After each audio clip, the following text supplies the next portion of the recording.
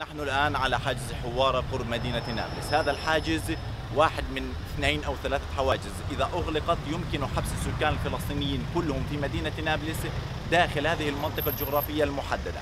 ما نراه الآن من إعاقة حركة المرور للسكان الفلسطينيين من قبل جيش الاحتلال الإسرائيلي وإغلاق الحواجز بعد العملية التي جرت مساء أمس قرب مدينة نابلس.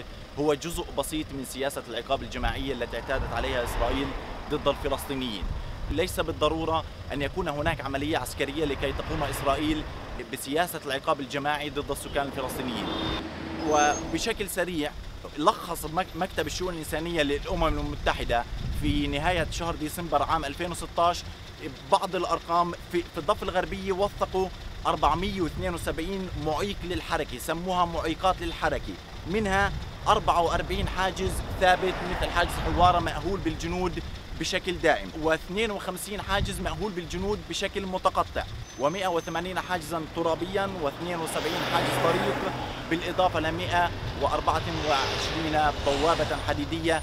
في العادة يكون نصفها مغلقا. الوصف الدقيق لما يجري الآن هو أن إسرائيل تحجز سكان مدينة نابلس داخل منطقة جغرافية معينة. إذا هم محبوسون بواسطة حاجز أو اثنين أو ثلاثة حواجز بإمكانها تطويق المدينة بشكل كامل ومنعهم من الحركة في سياسة العقاب الجماعي التي تنتهجها إسرائيل.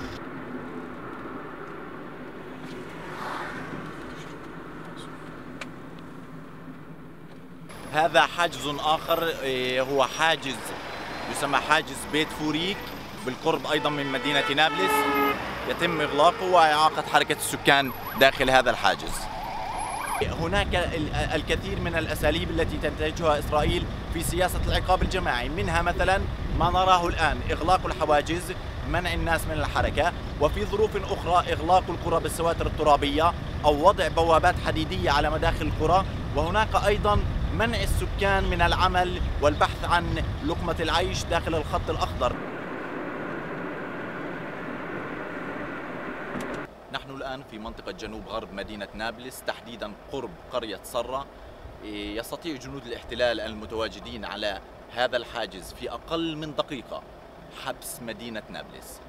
فعليا عدد بسيط من الطرق.